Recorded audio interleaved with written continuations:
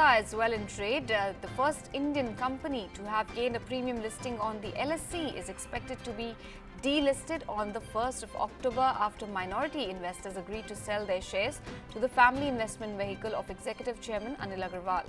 Vulcan Investments, the holding company wholly owned by Agarwal's discretionary trust, said it now held or had received acceptances on uh, its offer on 92.31% of Vedanta Resources share capital and cash offer had now become unconditional in all respects.